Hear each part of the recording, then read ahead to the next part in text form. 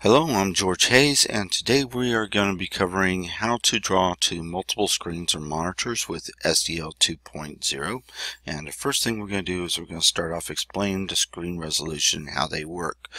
Alright, SDL treats screen resolution as far as multiple monitors as one giant screen. Alright, meaning that your leftmost coordinate as far as for your first screen works across until your screen resolution is combined and reaches the maximum coordinate of whatever your screen resolution is. In my case, I have two 1920 by 1080p monitors.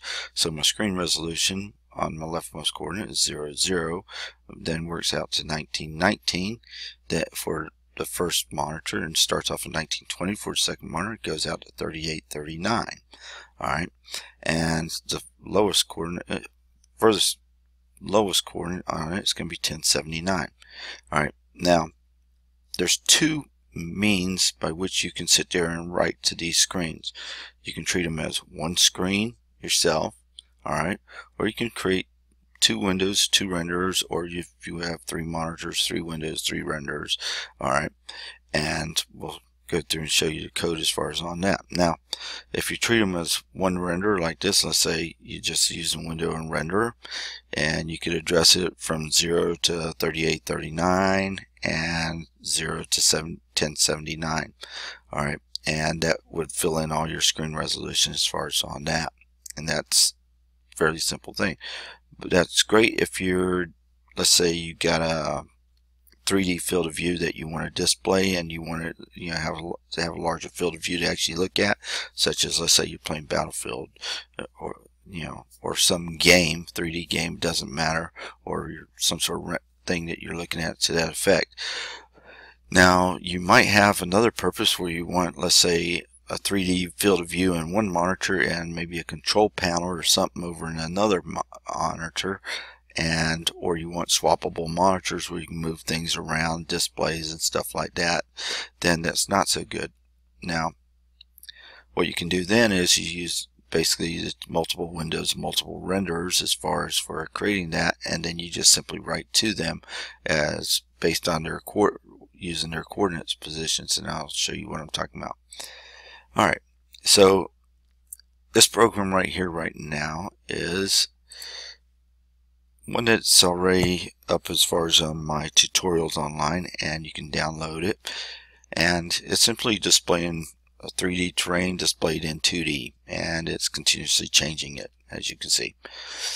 Fairly simple program.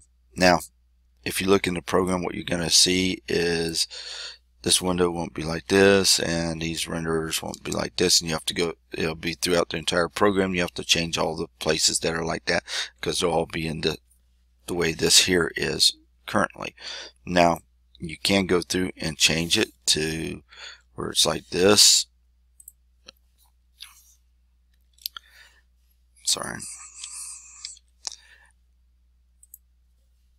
And if you look at here, I actually created two windows and two renders so I could actually write to both screens and actually test it out make sure what I was telling you was actually working correctly before I went through and told you specifically.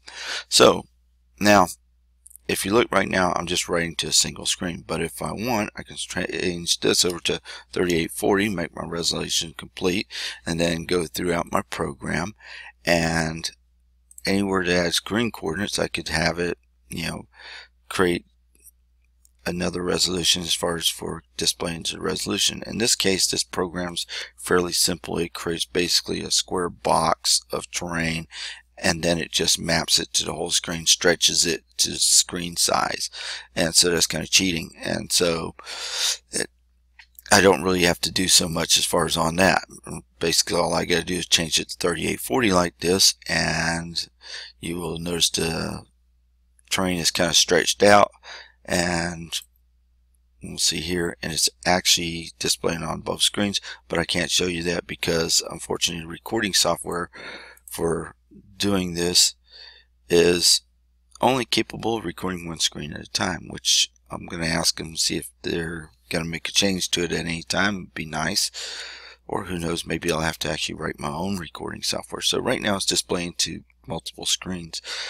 Alright and we'll run it again so you can see it displayed just to a single screen and it'll be less stretched out.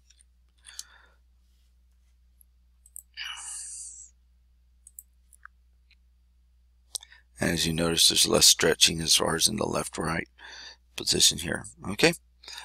All right.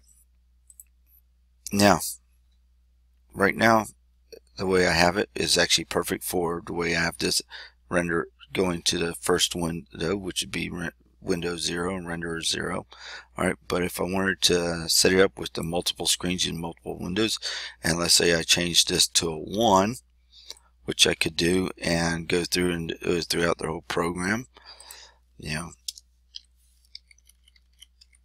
which I'm not going to do right now because I'm sure you don't want to sit here and wait for me to do it. I can sit there and actually change this here to 1920 and it will start off on the second monitor's position which is like I told you here and it would start rendering from here going across and it would still be a 1920 by 1080 resolution. So this would be 1920 instead of 3840 alright so don't make that mistake. This is going to be 1920 by and zero is just your start coordinate is top left corner position. And so we're going to go ahead and compile and now run it and it's actually displaying on my screen but of course you can't see that but you can see that the box here is up as far as on it alright the display. Alright so and bring it back to here and it simply renders it back to the primary screen. Alright anyway I hope you find that information useful and you can use this as far as uh, with the SDL and OpenGL tutorial that I've given also put up and modify it so that you can use OpenGL across the Windows. Uh, or I might be putting a tutorial out on that soon as well. And I hope you find anyway all this information useful and are will like and subscribe to the videos and so forth. Alright thank you very much. Have a great day